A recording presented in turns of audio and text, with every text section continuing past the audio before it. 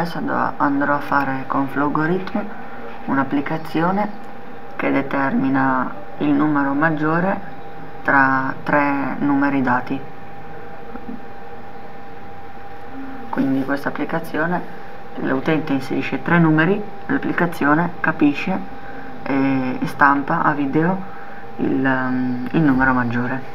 Quindi parto con la dichiarazione delle tre variabili non 1 virgola non 2 virgola non 3 intere di tipo intero. Tutte e tre intere. Ok. Poi output. Per dare l'istruzione bisogna fare all'utente quello che deve scrivere quindi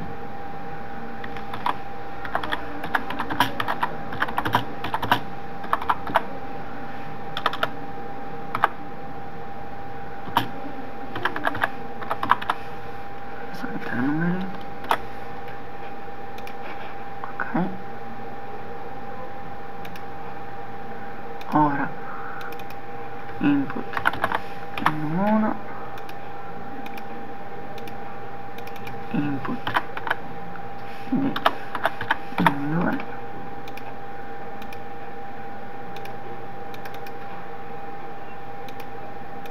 input di 3 ok quindi abbiamo dichiarati abbiamo messo output così stampa video all'utente l'istruzione di quello che deve fare quali sono i tre numeri e poi l'utente li inserisce. Ora bisogna iniziare col primo se nel primo se la condizione è num 1 maggior, maggiore dell'1,2 se è vera andare di qua se è falsa andare di là. Quindi num1 è maggiore di num2 però ce ne abbiamo tre variabili quindi qua bisogna metterci un altro se per vedere se num1 è maggiore di num3 quindi se num1 è maggiore di num2 in è anche maggiore di un 3 il numero maggiore tra i 3 tra i 3 variabili e non 1 quindi stamperà video non 1 il numero della variabile non 1 se invece è falsa in questo se qua num1 è maggiore di num3 se è falsa vuol dire che num3 è maggiore di num1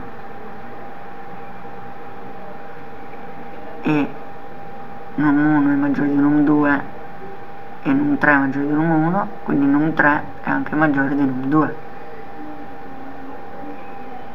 quindi qua bisogna stampare num 3 perché supponiamo che num 3 è 6 num 1 è 5 e num 2 è 4 6 è maggiore di 5 e 5 è anche maggiore di 4 quindi il più grande, il massimo, il maggiore è num3 se invece num1 non è maggiore di num2 bisogna vedere se num2 è maggiore anche di num3 quindi se num2 è maggiore di num3 qua num 1 è non è perché nel ramo falso quindi non è maggiore di num 2 quindi num 2 è più grande di num 1 se è anche più grande di num 3 il numero maggiore e non 2 se invece in questo se qua in questo if la condizione quindi non 3 non è minore. Cioè è minore non è minore di num 2 e num 2 è maggiore di num 1 perché nel ramo falso quindi questa è al contrario quindi num 2 è maggiore di num 1 ma num 3 è maggiore di num 2 è la stessa cosa di qua. Quindi nel ramo falso ci va messo num 3 e questa qua l'applicazione. La proviamo.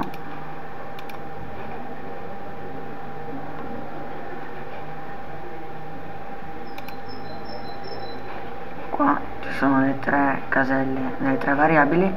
Quali sono i tre numeri? 4 3 e 5 num 1 e 4 num 2 e 3 num 3 e 5 e il numero maggiore è 5 ora riproviamo.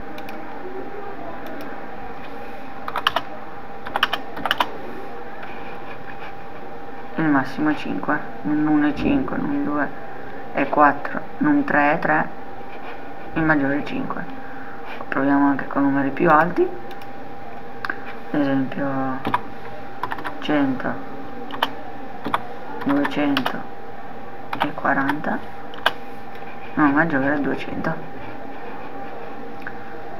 però in, in questo modo l'applicazione in due modi quindi per due strade arriva all'output di num 3 e per evitare di avere queste quattro risposte si potrebbe ehm, accorciare l'applicazione. Quindi adesso andiamo per un nuovo algoritmo ok? E la facciamo la stessa applicazione quindi questa qua però più corta. Quindi quando stampa solo una volta non tre. Quindi no se va in questa strada di qua quindi se questo è vero e questo è falso stampa un 3 se questo è falso e questo è falso non 3 un 3 viene stampato solo in una condizione. Ora lo proviamo che forse si capisce meglio. No. Ok. Allora bisogna sempre dichiarare le tre variabili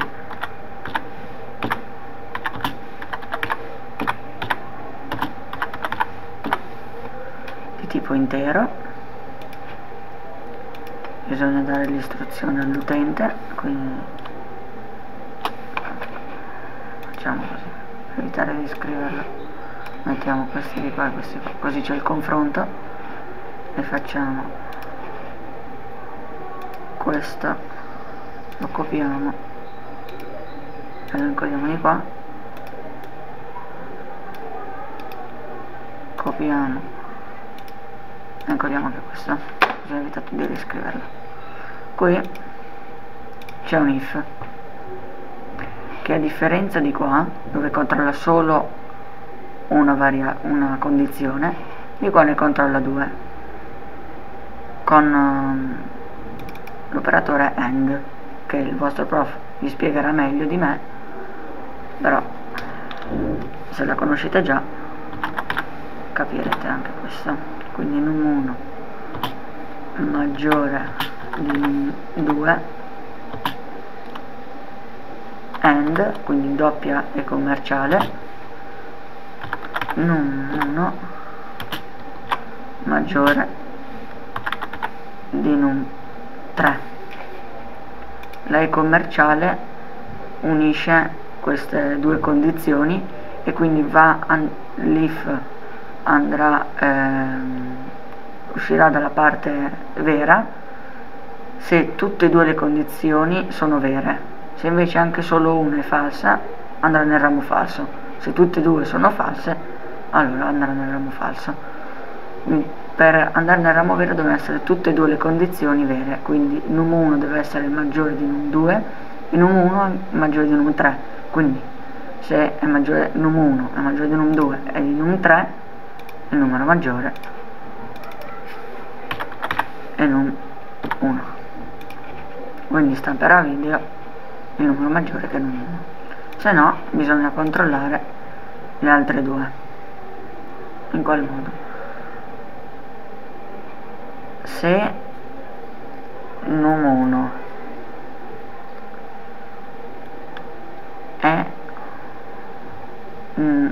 una delle due di queste qua è falsa quindi num1 è minore di num2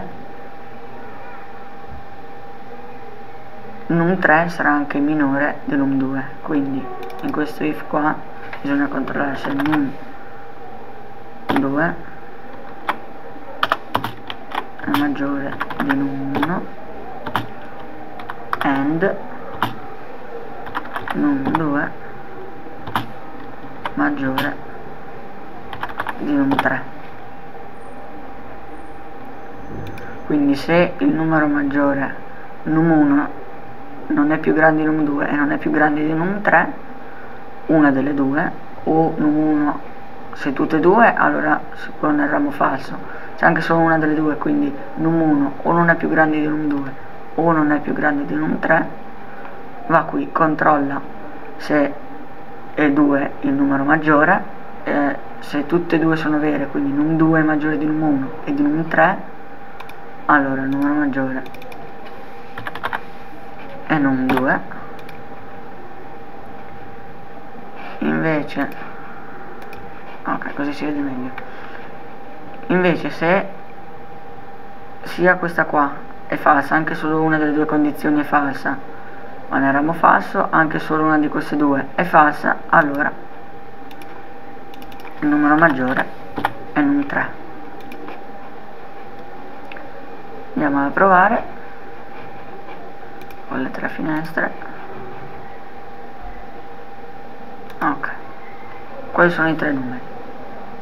6 5 7 stampa già 7 ok num 1 e 6 num 2 e 5 num 3 e 7 ora andiamo, andiamo a vedere quindi il numero maggiore è num 7 cioè è num 3 che la variabile num 3 che ha come numero 7 quindi il numero maggiore tra questi tre è 7 andiamo a vedere passo passo con un altro numero la dichiarazione delle variabili l'istruzione per l'utente che viene stampata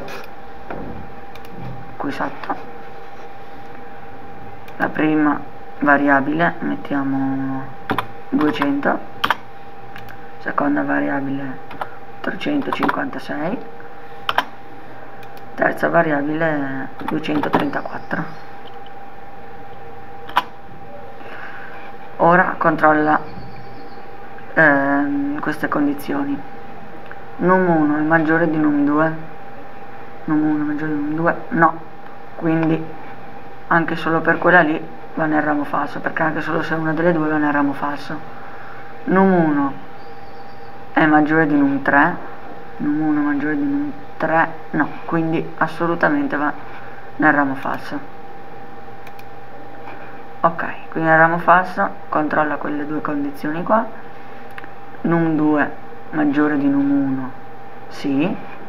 Num2 maggiore anche di num3 sì e quindi stampa num2 e finisce quindi il numero maggiore è questo.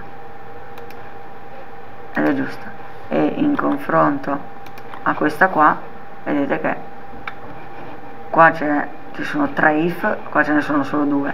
Qua ci sono, vengono stampate 4, ci sono 4 blocchi di output e sono 3 variabili. E quindi ne bastano 3 blocchi di output per stampare 3 variabili ed è anche più corta perché qua ci sono appunto 3 if, qua ce ne sono solo 2 e quindi queste le applicazioni tutte e due hanno lo stesso scopo e lo raggiungono quindi funzionano. Questa eh, a sinistra è più corta, contratta ha eh, un comando in più che è end e, ehm, e permette appunto di, di controllare due variabili quindi allo stesso tempo di accorciare l'applicazione